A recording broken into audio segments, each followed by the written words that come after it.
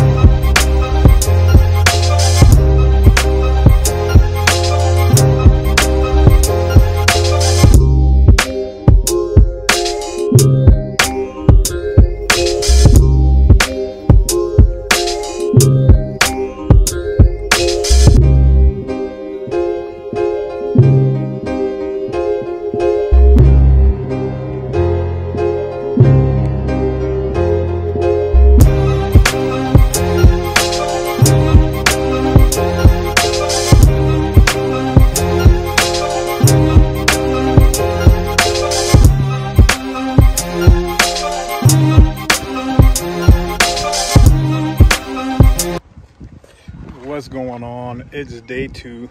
Uh, i forgot my tripod so i didn't really uh, do any time lapse today. So anyhow um, got a lot done.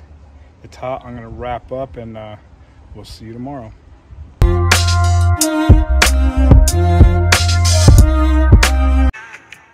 What's cracking everybody? Day three out here. Had a couple days off due to this head cold but we're gonna finish it today. Knock it out doing all the seaweed and all the background stuff today. See it, sign it, deliver.